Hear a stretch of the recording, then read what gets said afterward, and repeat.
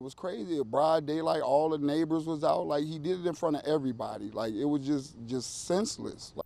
We begin with new information on the teenage suspect connected to a murder in Muskegon Heights. Police arrested him last night after a wild chase in which he shot at police and drove the wrong way twice in Kent County on M37 and I-96. Now we've learned police were called to a Muskegon Heights home before a shooting there, but left without making an arrest. 13 on your side, Lakeshore reporter John Mills explains why. The 19 year old suspect is a Muskegon man, and even though he was arrested Monday evening in Kent County, he's being held here at the Muskegon County Jail.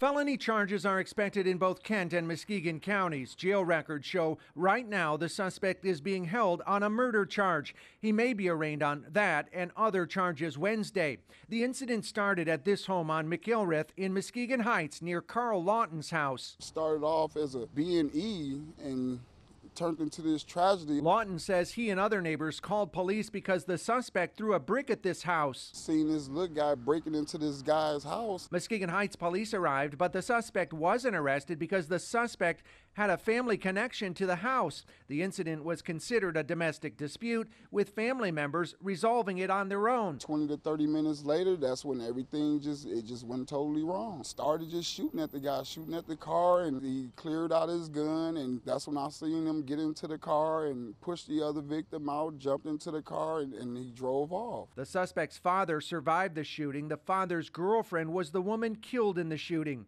About an hour later, the suspect entered I 96 driving westbound in the eastbound lane near Walker. A Kent County deputy intentionally drove into the vehicle, forcing the car off the highway. Police say the suspect was firing at police during the pursuit.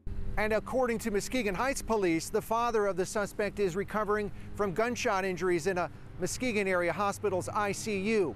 In Muskegon, John Mills, 13 on your side.